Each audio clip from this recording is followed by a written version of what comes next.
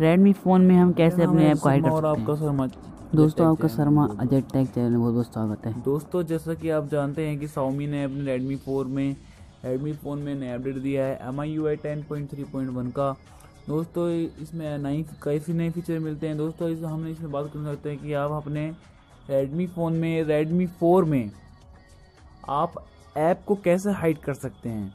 दोस्तों इसके लिए आपको सेटिंग में जाना है। दोस्तों, चलो हम वीडियो चालू करते हैं स्टार्ट करते हैं। तो लेट्स स्टार्ट दोस्त, हमको सबसे पहले जाना है सेटिंग में।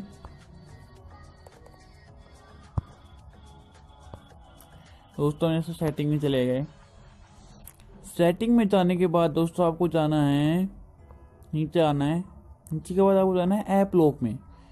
ऐप लॉक में आप जाने के बाद यहाँ पे आपको सेटिंग का निशान दिखता है। इस सेटिंग पे क्लिक करके आप नीचे आएँगे नीचे आपको दिखेगा हिडन ऐप्स इसको आप ऑन करेंगे और मैनेज हिडन ऐप्स अगर पहले आप पहली बार ऑन कर रहे हैं तो मैंने मैनेज हिडन ऐप जाएँगे। जो आपको ऐप हाइड करना है, उस पर क्लिक कर दिया। जैसे फेसबुक पे आप फेसबुक क्लिक कर दिया।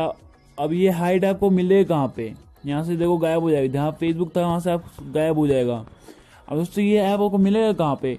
आप कहीं भी ढूंढ लोगे वो कहीं भी नहीं मिलेगा ये। दोस्तों इसके लिए आपको करना क्या होगा, अपनी स्क्रीन पर पिंच करना होगा इस।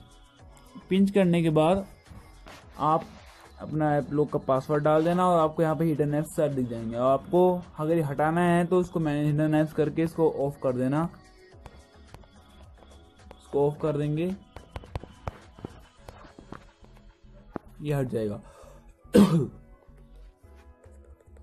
दोस्तों, देखो ये आ गया।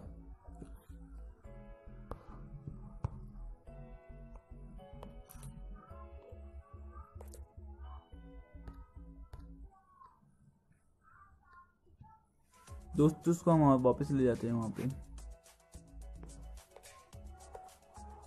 दोस्तों तो रेडमी फोर में आपको इस तरह से हाई डेफ का ऑप्शन मिलता है।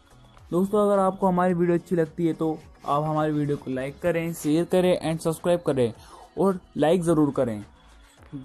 दोस्तों, आप सब्सक्राइब करना ना भूलें और बगल में बेल आइकन को दबाएँ, जिससे आपको हमारी आने वाली नोटिफिकेशन अगली वीडियो की नोटिफिकेशन सबसे पहले मिले। सो दोस्तों बाय